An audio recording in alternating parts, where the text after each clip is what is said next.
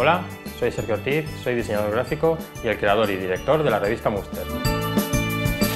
Llevo más de 10 años en el sector del diseño y me considero un diseñador bastante polivalente porque tanto puedo crear un packaging como una página web o un proyecto editorial. También trabajo como freelance en un estudio de Barcelona en el que realizo todo tipo de proyectos y además también imparto workshops en diferentes escuelas. Aunque sí que es cierto que en estos últimos años estoy más especializado en el ámbito de las publicaciones digitales, como sería el caso de Muster.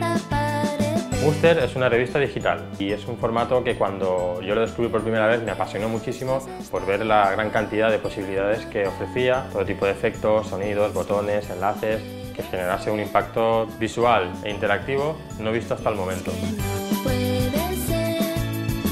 En este curso de doméstica te enseñaré a crear una revista digital como Muster. Realizaré una revista que se llamará Muster Mix, que será una mezcla de artículos del primer número y del segundo número. Además, con estas herramientas podrás crear tu propio portfolio interactivo o un catálogo para ese cliente que quiere dar el paso del formato de papel al formato digital. Para ello, primero empezaré hablando un poquito de mí, de mis trabajos, de mis influencias y de qué es Muster y cómo nació. Explicaré cuál es la nueva forma de leer en un medio digital, contaré las ventajas y las desventajas de crear una revista interactiva, te hablaré un poco de la experiencia de usuario, la interfaz de usuario o de cómo utilizar las tipografías para estos dispositivos. Después te hablaré de las herramientas que vamos a utilizar, que por un lado será el ya conocido InDesign y por otro lado el plugin Button. Después te enseñaré cuál es el flujo de trabajo que utilizo para ordenar todos mis archivos y te enseñaré cuáles son las herramientas que vamos a necesitar para poder dar interacción a nuestro proyecto como por ejemplo añadir animaciones, añadir efectos y todo tipo de elementos que le van a dar interactividad a la publicación y la van a enriquecer.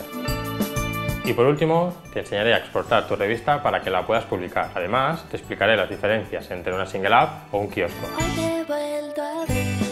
Para este curso necesitarás tener unos conocimientos básicos de InDesign, un poquito de Photoshop para casos puntuales y de Button no te preocupes porque yo te lo enseñaré a utilizar desde cero.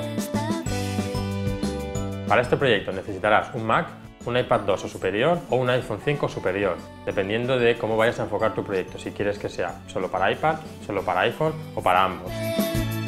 Aparte de esto, necesitarás la versión CS6 de InDesign o superior y sobre todo muchísimas ganas de aprender. Este curso está dirigido para todas aquellas personas que quieran adentrarse en el mundo de las publicaciones digitales interactivas, que les encante el diseño editorial y que apuesten por la creación de contenidos con un toque diferente.